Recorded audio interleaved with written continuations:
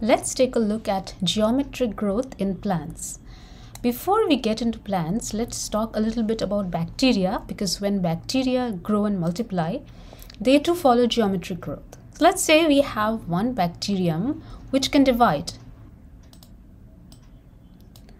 And when these two cells divide, they form four bacteria. And then again, eight bacteria. So if you notice, every time the bacteria are dividing, the number of cells added is increasing. So we start off with one cell, right? And then how many are added the first time it divides? One. So we add one bacterium to get two cells. And then now how many are added? Two cells to form four cells. And then now four cells are added. So each time the bacteria are dividing, the number of cells added is going on increasing.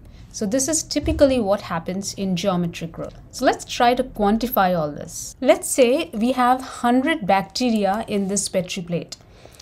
And let's say in one hour, two bacteria are added, right? So after one day, how many bacteria will be there? So how do we calculate this? So first of all, let's see what's happening after one hour. After one hour, two bacteria are added. And so how many total bacteria are there? We started out with 100 bacteria and then each of them divide to form two bacteria. So we multiply 100 by 2. So 100 by 2 is the number of bacteria that are added. So let's write this as 100 times 2 to the power 1. Why we are writing like this, it will be clear in a moment. And this is equal to 200, of course. Okay, now what happens in 2 hours? In 2 hours, so already we had 200 bacteria and we multiplied by 2. We can also write this as 100 times 2 to the power 2. So that's 400. Similarly, for 3 hours, we could write number of bacteria that are there is 400 times 2 is equal to 100 times 2 to the power 3, which is 800.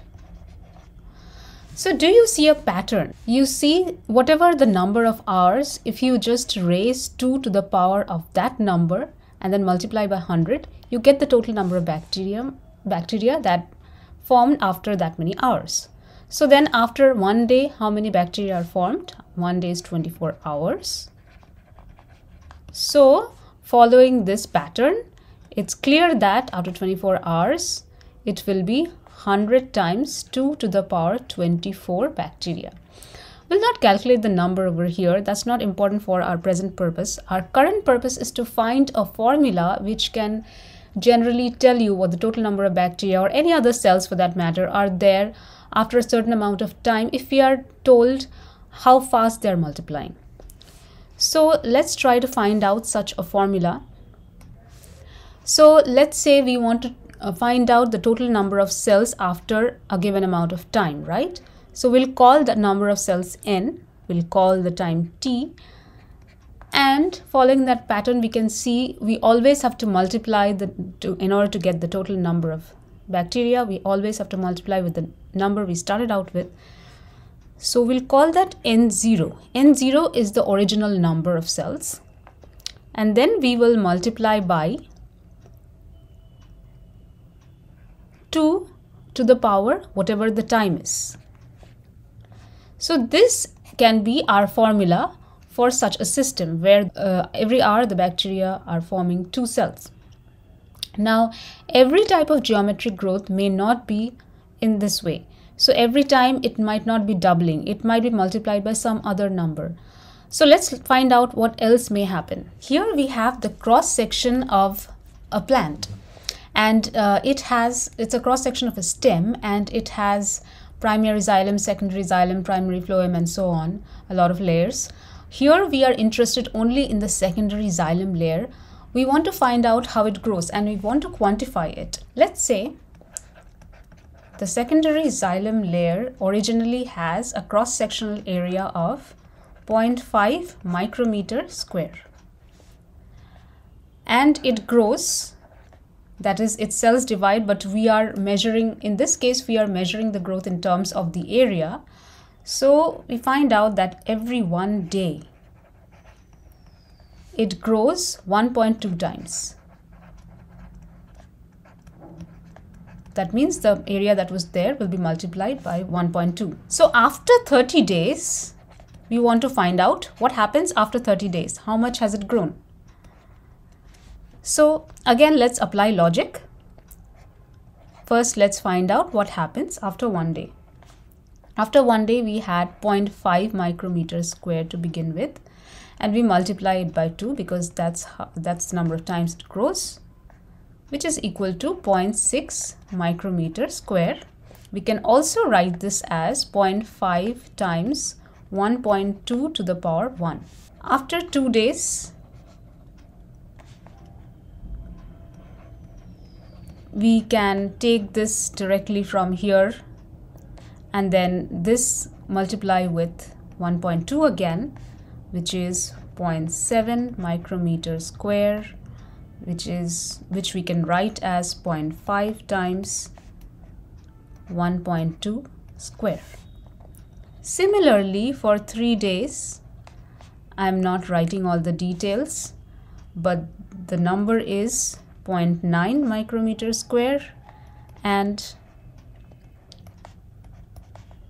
how we find it out is we multiply 0.5 by 1.2 to the power 3.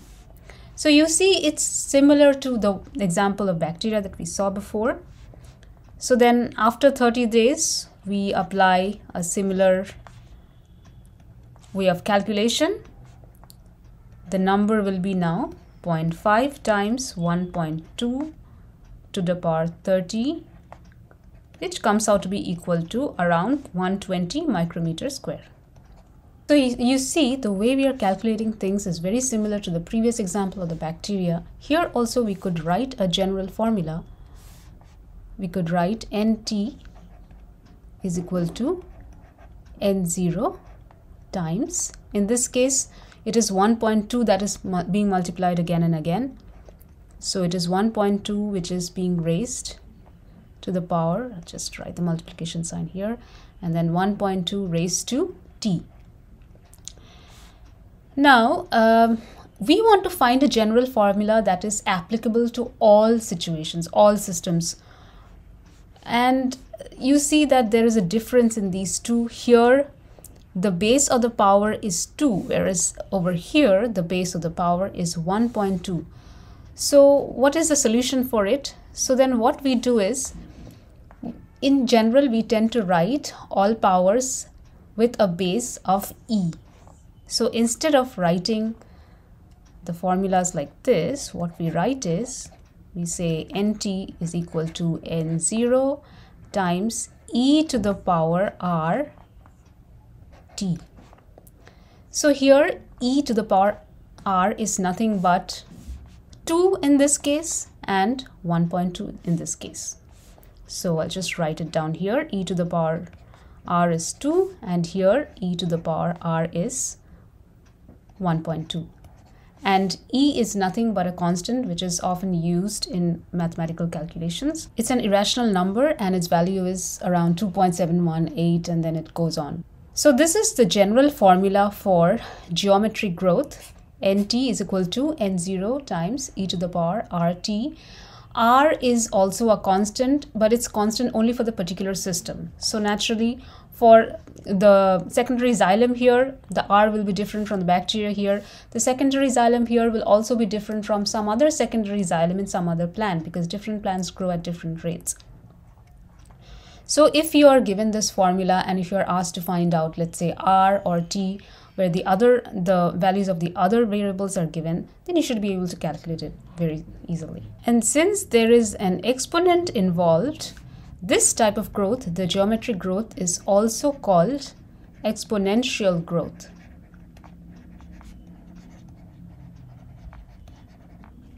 So how would the graph of exponential growth look like?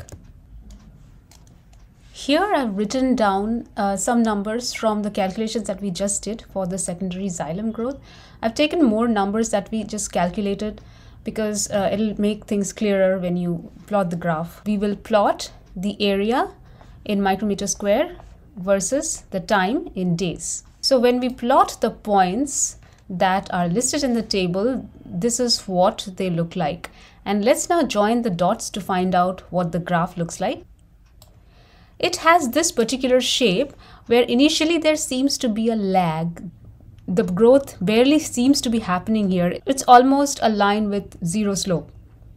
However, as time passes, the slope of the line goes on increasing, increasing, and over here it's rising really steeply. That's typically how the graph of exponential growth looks like. So we have seen that geometric growth or exponential growth has the formula nt is equal to n0 times e to the power rt. Um, n can also be represented in different ways. Some people will write the equation like this wt is equal to w0 times e to the rt so W is nothing but the weight. Sometimes it's written as the height H.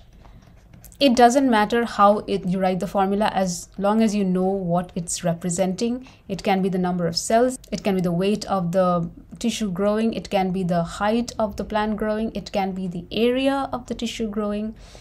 And um, remember, R is a constant for whichever plant or whichever organism we're looking at. It's called the growth rate constant.